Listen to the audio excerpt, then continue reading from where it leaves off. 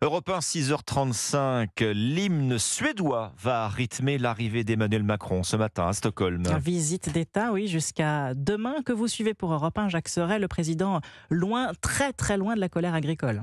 Emmanuel Macron prend de nouveau de la distance. À 1500 km de Paris, aucun tracteur à l'horizon. Ici, le chef de l'État, accompagné de la Première Dame, sera reçu en grande pompe par le roi Charles XVI Gustave et la reine Sylvia. Cérémonie d'accueil au Palais Royal en fin de matinée. Dîner d'État en tenue de gala en début de soirée. Des images on ne peut plus décalées par rapport à celles des agriculteurs qui encerclent Paris. Mais voilà, il était hors de question de repousser ce déplacement. Cette visite était initialement prévue en octobre et avait été reporté après les attentats d'Arras et de Bruxelles.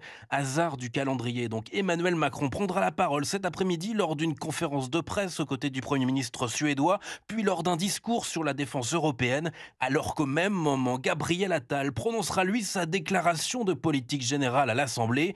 Mais au milieu du faste royal suédois, le président suivra de très près ce qui se joue en France, assure son entourage, le regard aussi tourné vers Bruxelles, où aura lieu jeudi un Conseil européen extraordinaire. Jacques Serret, envoyé spécial d'Europe 1 en Suède.